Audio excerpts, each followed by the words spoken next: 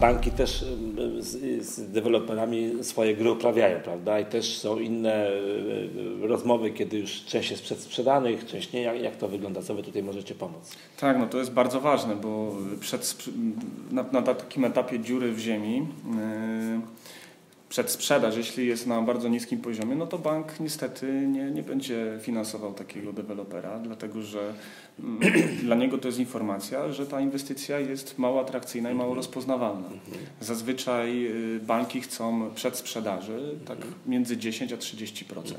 I wtedy deweloper może liczyć na, na dofinansowanie z banku. No i to wynika po prostu, tak jak w biznesie, tak jest, jest kwestia ryzyka, bo z punktu widzenia banku to znaczy jest mniejsze ryzyko. To znaczy, jeżeli jest po prostu przedsprzedane, no to właściwie jakby no to, to ryzyko jest dużo mniejsze, tak? To tak, znaczy, tak, tak, zwłaszcza jeżeli mówimy o jakimś nowym deweloperze, powiedzmy, który który jeszcze nie ma tego doświadczenia. Pamiętacie, był taki hotel, gdzie teraz stoi Q22 na początku Mercure. Mercure. Tak. I ja gdzieś tam kiedyś dowiedziałem, że normalnie, żeby hotel się opłacał, to musi być wkład własny chyba tam 40%. Już nie pamiętam.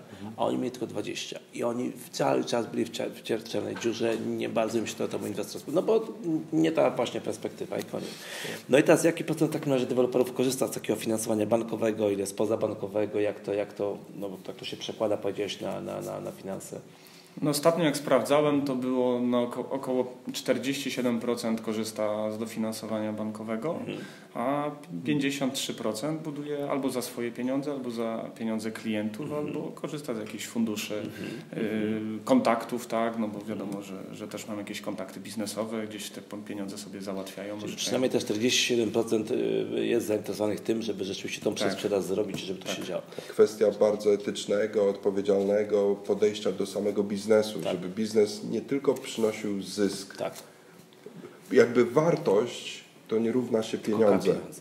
To znaczy, to jest coś większego niż pieniądze. Pieniądze są społeczne, że tak. Przy okazji, tak, to tak, znaczy, tak. one są bardzo ważne, nie chcę no tak. tutaj jakby powiedzieć, że to, tak, ale... tak ale, ale to jest, wartość jest pojęciem dużo szerszym tak. i dużo ważniejszym niż tylko pieniądze. No. Tu, tu, Sławku, masz rację, bo my też nie, nie zawsze się podejmujemy sprzedaży takiej inwestycji, jeśli to by miało zaszkodzić naszej, naszej marce, czy tam naszej opinii na rynku, tak? No patrzymy z, tak, z takiej z dużej perspektywy, że, że niestety nie, nie warto podejmować decyzji, takiej decyzji o współpracy, no bo no to na dłuższą metę mogą być w ogóle nieopłacalne. Tak? No, cóż z tego, że teraz są pieniądze, a marka by na tym straciła.